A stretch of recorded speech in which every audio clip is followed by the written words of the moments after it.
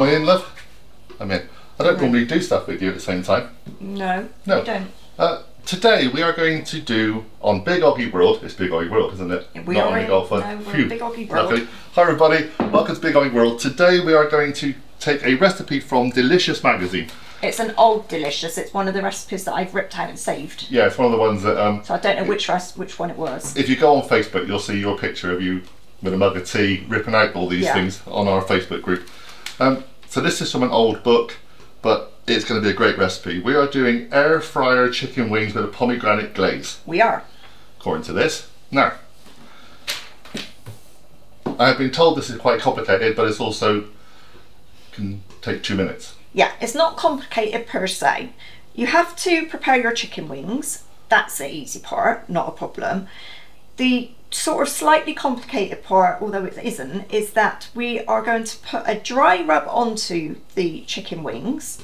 And then the ideal thing to do is to leave them on a wire rack over a dish in your fridge to air dry overnight Okay. because that makes them crispier when you put them in the air fryer. But if you don't have time to do that overnight, Just stick rub on. you can stick the rub on and like maybe stick the rub on in the morning and then cook them in the evening. Okay. So ideally overnight. Okay. But if you haven't got overnight, leave them for as long as you So, possibly so it's a little bit time consuming, but also it doesn't have to be because you can literally just Yeah. do this and whack it straight in the air fryer. Yeah. They'll, they'll be fine. They just They won't will be fine, perfect. but they won't be like.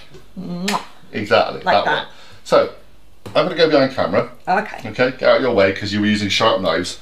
Um, before we carry on, we're going to show you how to prepare the actual chicken wings. So Kelly's just done this in advance. Yeah. So we're going to show you that now. So I will cut to Kelly in a little bit more of a close up, and then she'll be back. So, to prepare the chicken wings, it's very easy, but it is a bit fiddly. Chicken wings come in three pieces. Uh, first of all, you need to cut the tip off because they're really no good for our recipe. But if you're into making stocks and broths, etc., then save them, put them in the freezer and save them until you've enough and use them for your stocks and stuff. That will leave you with the two main parts of the chicken wing.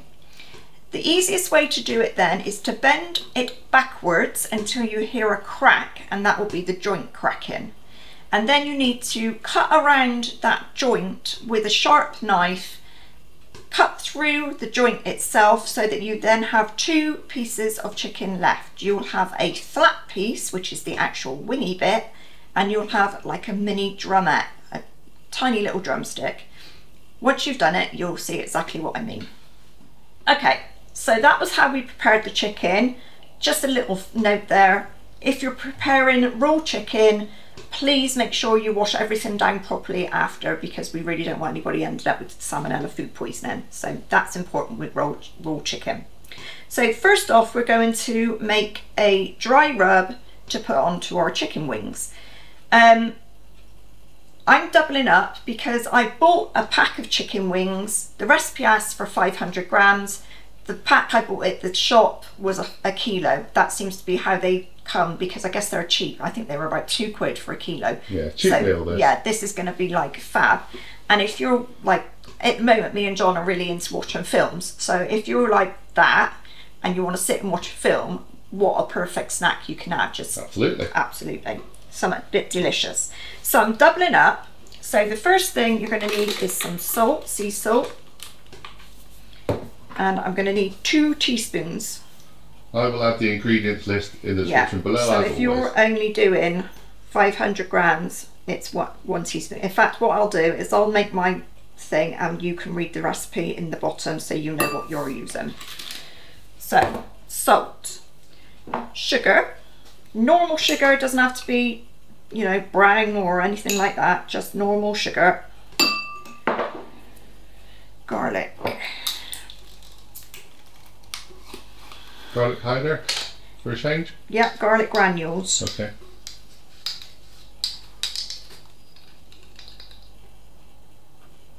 And obviously you're needing to look at the recipe because you Because set I'm everything up. doubling up. Your maths is not good. If people have watched our cocktail recipes, they'll know when we double up, it's not good. right the thing that is going to make your chicken wings deliciously crispy is this and it's just baking powder but it changes the pH of the skin or something and it makes it go all crispy and yummy. Did you do science in school? Were you very good at biology? I actually was very good at science Yeah. in school. I really was. You read that off the magazine, didn't you? I, I sort of read it in Yeah. advance, but it's true though. It works. I think there was something else we used baking powder for recently to change the I honestly can't think. We've done so many recipes of like, and which is good. That is your dry rub. So we're going to give that a stir up because you want it all to be mixed in. I would give you a close up, but there's nothing to see really. It's just a bunch of powders. It is. I make sure there's no like big lumps in it.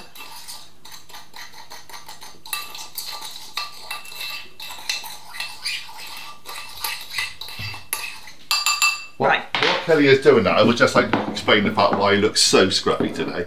The Um, weather. I know. I had to go to the post office to pick up a uh, package, which um, wasn't um, spotted when we came home. No.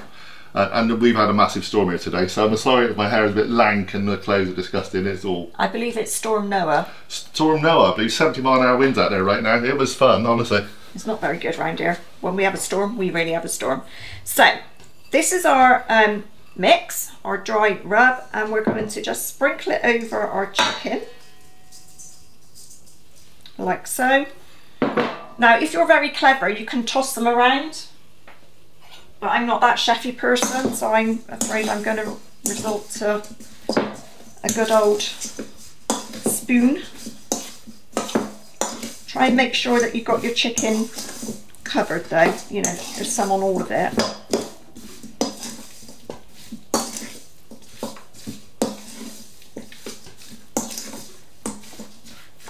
There. And then I have got a small baking tray and my boiler rack and we are going to, I'm going to use my fingers because it's just going to be easier. We're going to lay them out on our rack. Obviously, make sure that it's not going to go over the side of your rack because the last thing you want is a load of chicken juice in your fridge. I guess it's a bit like when we did the bacon. It kind of draws some of the fluids Yeah. out and then kind of pulls it back in again. But yeah, there may be a few drips overnight. So again, just just play safe in your fridge. Make sure there's nothing underneath.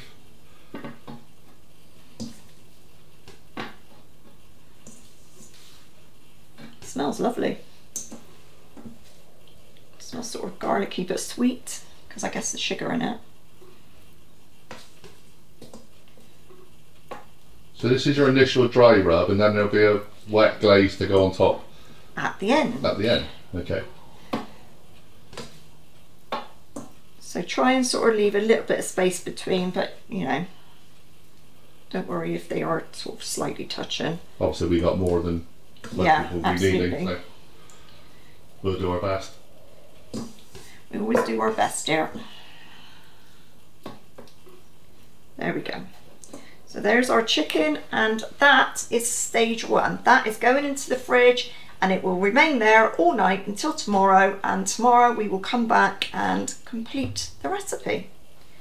How So- much simpler can it Well, be? it, it is simple. It's just that little bit of time-consuming bit at the uh, in the middle, which is what we're doing now. Yeah. So um, we will see you tomorrow, but don't go away because you'll be seeing us in about three seconds. We'll be back. Hi everyone and welcome back. So this is a whole 24 hours really later. Um, the chicken wings have been sat in the fridge all that time and they're looking dry basically, which is exactly what you want. So I've preheated my um, air fryer to 200 degrees and that's all ready to go. So the next step is to put all of your chicken bits back into a bowl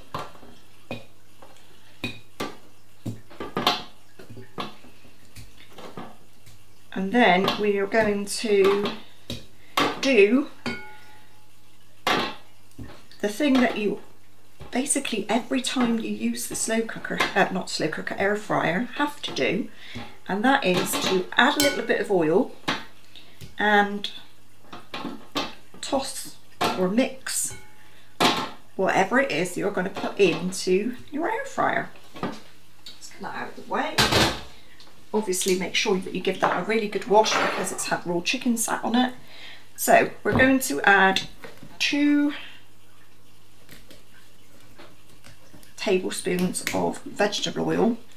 I'm using two, remember, because I've doubled up. So you're going to use one. But remember, don't worry because John is going to put all the ingredients and the amounts in the comments below or the section below. Your little bit of oil in.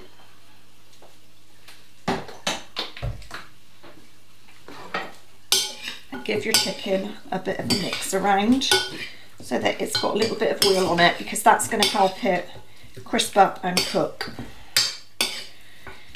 And then what we need to do then is to take your fryer and put your wings in. You can hear it sizzling because it's been preheated. Put them in on a single level, don't pile them up and try and leave a little bit of space between each one. Now that might mean that you have to do this in um, batches, but that's absolutely fine because it's going to taste brilliant. So I've got about nine in that one.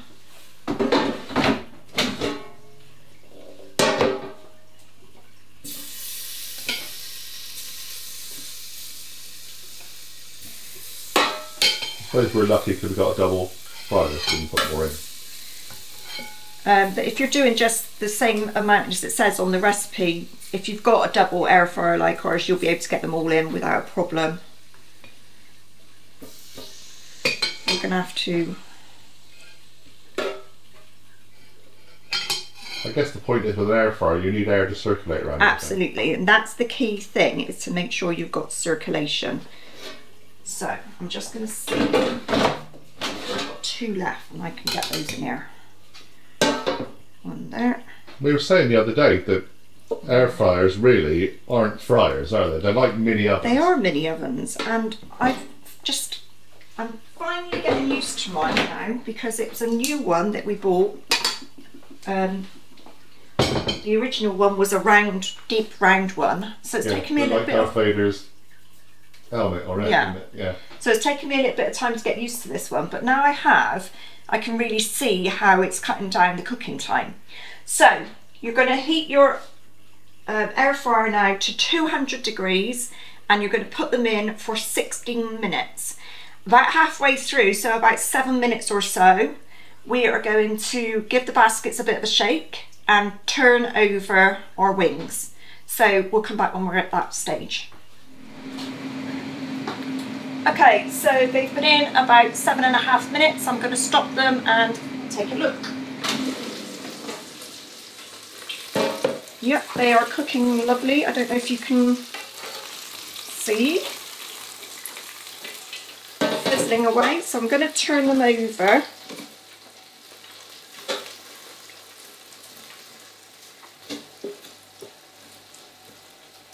smells wonderful.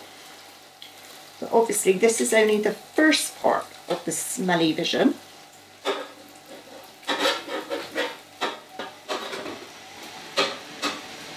Excuse me. Multitasking, aren't we? Well, this sorry. Yeah. Wash Maybe not. machine, Wash a lot going here. It is a home, proper home kitchen, it's not a set.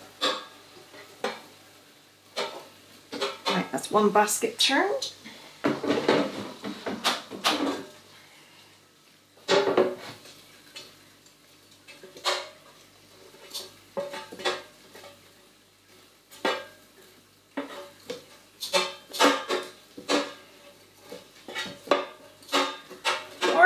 A chicken picker person or would you prefer like no bone in a piece of breast, that sort of thing? Personally, I'm very much a picker. I do like a little bit of a wing, and in fact, if I do a roast chicken, what do I have, John? Yeah, wing, wings are your thing because you don't eat an awful lot of food. I don't eat an awful lot of meat, particularly. I just find it quite difficult to digest, so um, I do tend But if I had to choose a cut of chicken, I would go for a wing or a drumstick. Like if we go KFC, I always get a drumstick. Right, they're going back in for the final seven minutes. Now, whilst that's doing, we have prepared, or I've prepared, the rest of the ingredients into the glaze. So in here, you've got your pomegranate molasses, some red wine vinegar, some chili flakes. Now the recipe says half a teaspoon of chili flakes. That's entirely up to you. If you want it hotter, put more in. If you don't want it too hot, you know, do fewer, whatever you, you know, suits you. Um, and a dash of water, some cinnamon, and some salt and pepper. So I've done it because it's going to go into the microwave. You can do it in a saucepan and put it on the hob if you prefer. So what we're going to do is we're going to heat this now in the microwave so that when the chicken is cooked, we're going to put the chicken back into our dish, drizzle over the um, glaze and then put it back in the air fryer for just two minutes to set the glaze and that will make your sticky chicken wings. So this is going to go in the microwave for a couple of minutes to start off with and then I'll take it from there.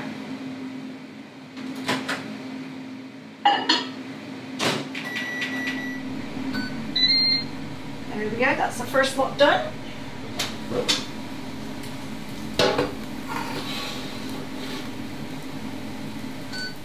and the second lot. So they are nicely browned as you can see.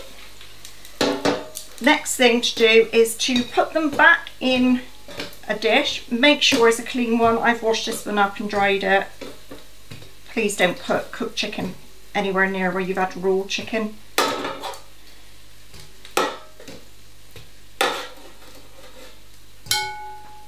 Put all your bits back in. I have heated up the glaze in the microwave. It literally took a minute and a half. But you can do it on the hob if you prefer or you don't have a microwave.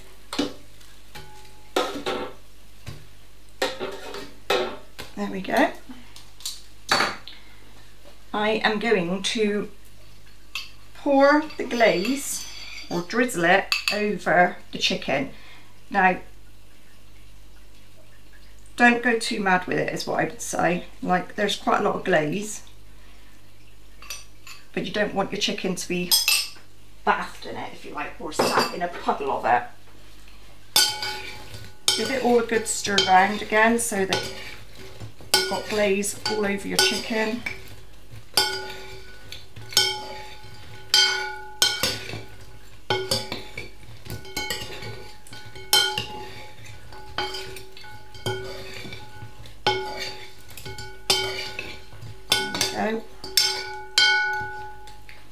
And then we are going to put these back in again just for two minutes to set the glaze and then you are done. Obviously if you try this and you don't like this glaze you could do the same recipe with whatever glaze you like. I, I was saying to John when we were putting this together, I think that a sweet chili glaze would be lovely. Or if you're one of these people that like hot sauce, you could put like a sriracha hot sauce type glaze on it. If you're doing a family recipe, you could literally do some honey mustard, that would be good. Some nice runny honey with a little bit of Dijon or even whole grain mustard. So I'm just going to stick these back in for two more minutes and then we're ready to eat. There we go.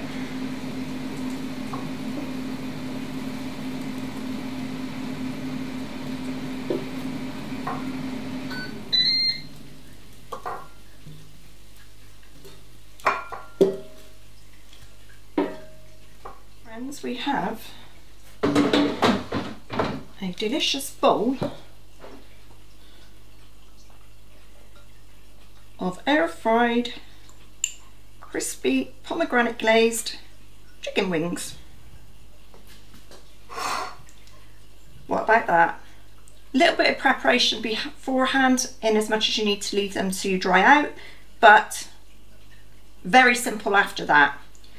Looks absolutely delicious. Uh, hope you enjoyed it.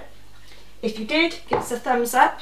If you try any other variations on this recipe, please let me know. I'd be really interested to find out how you um, did it and what you thought.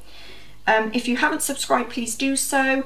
If you have, please make sure that you've hit your notification bell. Come and join us over on Big Oggie World on Facebook, which is our um, public page that you can post pictures and all that sort of stuff over there. And we will see you all again very soon. Hope you enjoy it. Bye for now.